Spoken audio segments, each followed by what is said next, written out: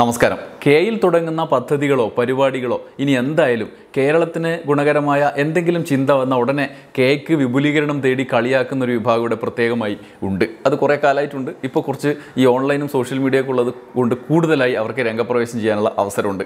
അവർ K എന്ന് പറഞ്ഞാൽ ഉടനെ ക്യൂബളം എന്നൊക്കെ പേരിട്ട് കളയും. എന്നിട്ട് സ്വയം ഞാൻ കേരളത്തിലാണല്ലോ എന്ന് വെച്ചിട്ട് തൊട്ടടുത്തുള്ള ചളിയോ വിസർജ്യമോ ഉണ്ടെങ്കിൽ തന്റെ മേത്തുകൂടി വാരി തേച്ചിട്ട് ഇതാ കേരളം ഇങ്ങനെയാണ് എന്ന് പറയും. ഞാൻ കൂടി നാറിക്കോട്ടെ എന്നാലും കേരളം നാറുമല്ലോ എന്നുള്ളതാണ് അവരുടെ ഒരു ഒരു വിചാരം ഒരു സന്തോഷം.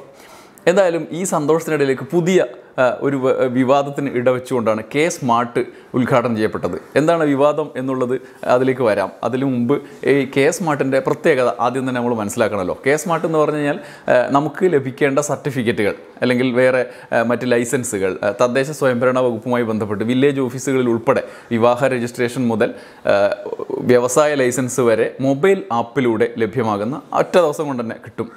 മിനിറ്റുകൾ മതി എന്നാണ് അവർ പറയുന്നത്. എല്ലാ രേഖകളും ഉണ്ടെങ്കിൽ അപ്പം തന്നെ കിട്ടും എന്നാണ് കെ സ്മാർട്ട് എന്ന മൊബൈൽ ആപ്പിന്റെ പ്രത്യേകത. ആ മൊബൈൽ ആപ്പാണ് ഇപ്പം ഉദ്ഘാടനം ചെയ്യപ്പെട്ടത് കേരള സ്മാർട്ട് എന്ന പേരിൽ.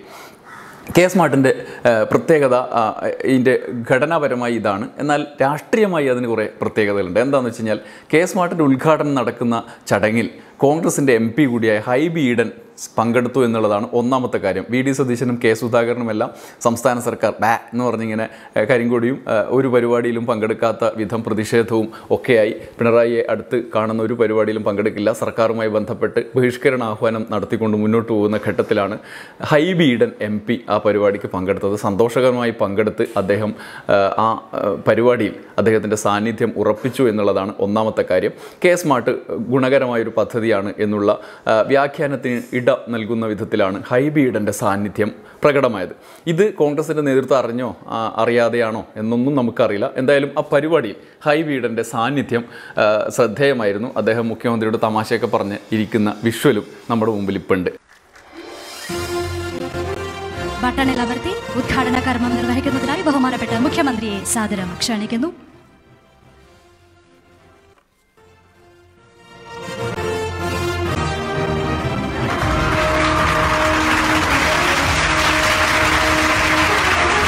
ഇതുകൂടാതെയാണ് ഈ പരിപാടിയുടെ പ്രത്യേകത അല്ലെങ്കിൽ കെ എസ് സ്മാർട്ടിന്റെ പ്രത്യേകത മനസ്സിലാക്കി കർണാടക സർക്കാർ അവരുടെ പ്രതിനിധിയെ ഈ പരിപാടിക്ക് അയച്ചത്.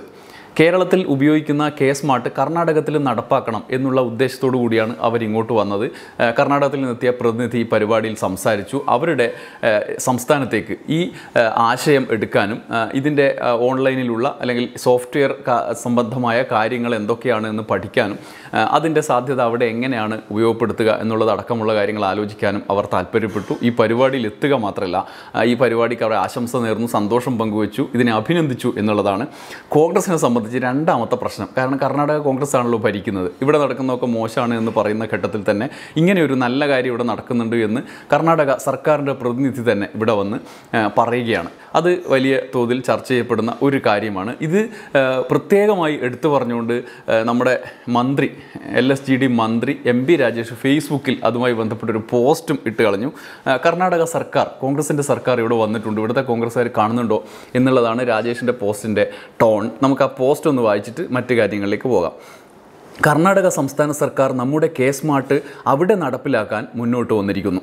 ഇത് കേരളത്തിന് വലിയ അഭിമാനവും അംഗീകാരവുമാണ്.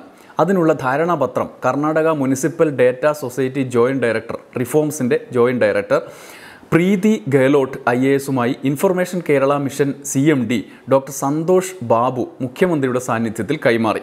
കേരളം ഇന്ത്യയ്ക്ക് വഴി കാണിക്കുന്നു എന്നത് വെറുതെ പൊങ്ങച്ചം പറയുന്നതല്ല എന്ന് തെളിയിക്കുന്നതാണ് കെ സ്മാർട്ട് കർണാടക നടപ്പിലാക്കാൻ മുന്നോട്ട് വന്നത്. മറ്റ് ചില സംസ്ഥാനങ്ങളും താൽപ്പര്യം അറിയിച്ചിട്ടുണ്ട്. മറ്റൊരു സന്തോഷം സ്വിറ്റ്സർലൻഡിൽ പ്രവർത്തിക്കുന്ന non profit ഫൗണ്ടേഷനായ the internet computer protocol K സ്മാർട്ടുമായി സഹകരിക്കാൻ താൽപ്പര്യം അറിയിച്ചിട്ടുണ്ട്. ഐ സി പിയുടെ പ്രതിനിധി ശശി ശേഖർ ഇന്നത്തെ ഉദ്ഘാടന ചടങ്ങിൽ പങ്കെടുക്കാൻ എത്തിയിരുന്നു. ഐ സി പിയുടെ പിന്തുണയിൽ നടപ്പാക്കുന്ന സേവനങ്ങൾ കുറ്റമറ്റതും ചെലവ് കുറഞ്ഞതും വേഗത ഏറിയതുമാണ്. ഉപയോക്താക്കളുടെ എണ്ണം എത്ര വർദ്ധിച്ചാലും മികച്ച സേവനം ലഭ്യമാക്കാൻ ഇത് സഹായിക്കും.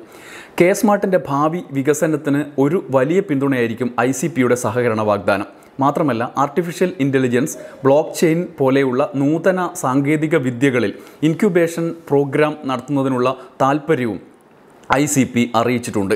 ഈ പുതിയ സാങ്കേതിക വിദ്യാ മേഖലയിലെ സ്റ്റാർട്ടപ്പ് രംഗത്ത് കേരളത്തെ ഒരു പ്രധാന ഡെസ്റ്റിനേഷനാക്കി മാറ്റുന്നതിലും ആയിരക്കണക്കിന് തൊഴിലവസരം നമ്മുടെ ചെറുപ്പക്കാർക്ക് നൽകുന്നതിലും ഇന്റർനെറ്റ് കമ്പ്യൂട്ടർ പ്രോട്ടോക്കോളുമായിട്ടുള്ള സഹകരണം വഴി തുറക്കും.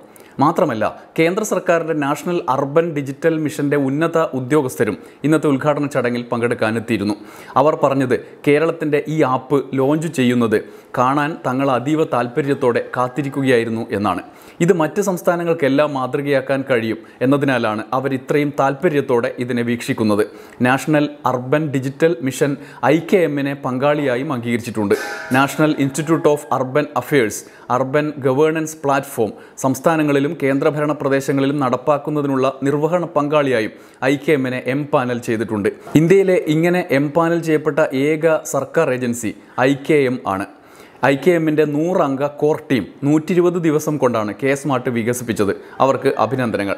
ഇതാണ് എം പി രാജേഷ് പറയുന്നത്. എം പി രാജേഷ് പറഞ്ഞ രണ്ട് രാഷ്ട്രീയ വ്യാഖ്യാനങ്ങൾക്കിടയാക്കുന്ന കാര്യങ്ങളാണുള്ളത്. ഒന്ന് കർണാടക കോൺഗ്രസ് നേതൃത്വം നൽകുന്ന കർണാടക സർക്കാർ ഇത് ഏറ്റെടുക്കാൻ അവർക്ക് കൂടി ഉപയോഗപ്പെടുത്തുന്ന രീതിയിലേക്ക് കൊണ്ടുപോകാൻ രംഗത്ത് വന്നു. രണ്ടാമത്തത് കേന്ദ്ര സർക്കാർ ഐ കെ എമ്മിനെ ഇന്ത്യയിലെ ഏക സർക്കാർ ഏജൻസിയായി ഇത്തരം കാര്യങ്ങൾക്ക് തിരഞ്ഞെടുക്കപ്പെട്ടു എംപാനൽ ചെയ്തു എന്നുള്ളതാണ്. അത് വലിയ കാര്യമാണ്. ബി ജെ പിയുടെ കേന്ദ്ര സർക്കാരാണ്. പല തരത്തിൽ കേരളത്തിലെ കാര്യങ്ങളൊക്കെ കട്ടപ്പൊഹയാണ് ഒന്നിനും കൊള്ളില്ല. കെ എന്ന് പറഞ്ഞാൽ ക്യൂബളമാണ് വൃത്തിയുടെ സ്ഥലമാണ് എന്നൊക്കെ പറയുന്ന ആളുകൾക്ക് മുന്നിലേക്ക് ഒരു കാര്യം കൂടി മുന്നോട്ട് വെച്ചു എന്നാണ്. അപ്പോഴാണ് ഞാൻ ആലോചിച്ചത് ഇത് കേന്ദ്രത്തിന്റെ പദ്ധതിയാണ് ഇതിന് പൈസ തന്ന കേന്ദ്രമാണെന്ന് പറഞ്ഞിട്ട് ആരും വന്നില്ലേ?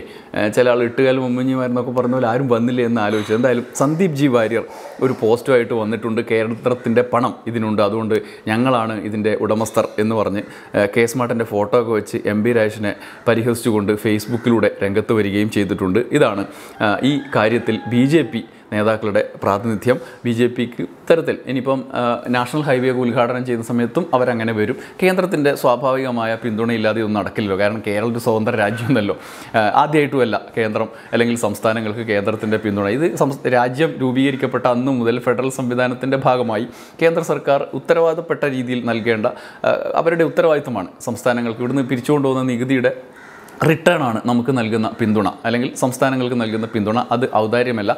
ആ കാര്യത്തിൽ എട്ടുകാലി മമ്മഞ്ഞിമാരാകാൻ ഇനിയും ആളുകൾ വരും. കെ സ്മാർട്ട് ആ കാര്യത്തിൽ ഒരു ഉദാഹരണമാണ്. നേരത്തെയുണ്ട് ഇനിയിപ്പം നാഷണൽ ഹൈവേ ഒക്കെ വരുമ്പോൾ അങ്ങനെ വന്നോളും. പണം നൽകുന്നുണ്ട്. പണം നൽകണം. അത് അവരുടെ ഉത്തരവാദിത്തമാണ്. അതേസമയം സംസ്ഥാനങ്ങൾക്ക് അത് നടപ്പാക്കുന്ന കാര്യത്തിൽ വീഴ്ചയുണ്ടോ എന്നുള്ളത് നോക്കുകയാണ് അവരുടെ ഉത്തരവാദിത്തം. അങ്ങനെ വീഴ്ച വരുമ്പം ഇത്രയൊക്കെ സൗകര്യങ്ങൾ ഉണ്ടായിട്ടും നടപ്പാക്കുന്നില്ലല്ലോ എന്ന് പറയുന്നതിൽ കാര്യമുണ്ട്. നേരെ മറിച്ച് നടപ്പാക്കുമ്പോൾ ഇത് ഞങ്ങളാണ് നടപ്പാക്കിയത്. എന്ന് പറഞ്ഞിട്ടുള്ള പരിപാടി. എന്തായാലും സന്ദീപ് ജി വാര്യർ രംഗത്ത് വന്നതിൽ എനിക്ക് സന്തോഷമുണ്ട്. കേന്ദ്രത്തിന്റെ കാര്യം ഈ എം പി രാജ് പ്രത്യേകം പറഞ്ഞിട്ടുണ്ട്. ആ പരിപാടിയിൽ അത് ഉടനീളം കേന്ദ്രത്തിന്റെ പ്രതിനിധി അടക്കം അതിൽ വന്നിട്ട് കേരളത്തെ അഭിനന്ദിച്ച് നമുക്ക് പ്രസംഗങ്ങളിലൊക്കെ കാണാം. എന്തായാലും കെ സ്മാർട്ട് ഒരു പുതിയ ദൗത്യം ഏറ്റെടുത്തുകൊണ്ട് മുന്നോട്ട് വന്നിരിക്കുകയാണ്. നമുക്ക് അതിനുള്ള സാധ്യതകൾ ഉപയോഗിക്കണം എന്നുള്ളതാണ്. കാരണം നമുക്ക് ആവശ്യങ്ങൾ വരുമ്പോൾ മൊബൈൽ ആപ്പിലൂടെ നമ്മുടെ സർട്ടിഫിക്കറ്റുകൾ നമുക്ക് ലഭിക്കും. ഏതെല്ലാം സേവനങ്ങളാണ് എന്ന് ഞാൻ പ്രത്യേകമായിട്ട് പറയേണ്ടതില്ല. എല്ലാ സേവനങ്ങളും ജനന മരണ വിവാഹ രജിസ്ട്രേഷനുകൾ ബിൽഡിംഗ് പെർമിറ്റുകൾ വ്യാപാര വ്യവസായ ലൈസൻസുകൾ തുടങ്ങി എന്തെല്ലാം ജനങ്ങൾക്ക് ലഭ്യമാണോ അതെല്ലാം ഓൺലൈൻ ആവുകയാണ്. മുന്നൂറ് സ്ക്വയർ മീറ്റർ വരെയുള്ള ബിൽഡിംഗ് പെർമിറ്റ് മുപ്പത് സെക് മിനിറ്റിനകത്ത് മുപ്പത് സെക്കൻഡിനകത്താണ് ലഭിക്കുന്നത്. ഒരു മിനിറ്റിൽ താഴെ സമയം കൊണ്ട് ചട്ടപ്രകാരം അപേക്ഷ ഓൺലൈനായി സമർപ്പിച്ചാൽ സിസ്റ്റം തന്നെ അത് ചട്ടപ്രകാരമാണോ എന്ന് വെരിഫൈ ചെയ്ത് വിജയകരമായി അപേക്ഷ സമർപ്പിച്ചാൽ മുപ്പത് സെക്കൻഡിൽ പെർമിറ്റ് ലഭിക്കും. സർട്ടിഫിക്കറ്റുകൾ ഓൺലൈനായി ഡൗൺലോഡ് ചെയ്യാം വാട്സാപ്പിലും ഇമെയിലിലും ലഭിക്കും. വിവാഹ രജിസ്ട്രേഷൻ വധുവും വരനും എവിടെയാണോ ഉള്ളത് ലോകത്തെവിടെയാണോ അവിടെ ഇരുന്ന് വീഡിയോ കോൾ വഴി രജിസ്ട്രേഷൻ വിവാഹ രജിസ്ട്രേഷൻ നടത്താം. ഇതൊക്കെ ഇതിന്റെ ചില പ്രത്യേകതകളാണ് പ്രാധാന്യമാണ്. അതിന്റെ നടത്തിപ്പിൽ വീഴ്ചയുണ്ടോ എന്ന് സൂക്ഷ്മമായി നിരീക്ഷിക്കുക എന്നുള്ളത് നമ്മുടെ കൂടി ഉത്തരവാദിത്തമാണ് മാധ്യമങ്ങളുടെയും ഉത്തരവാദിത്തമാണ്.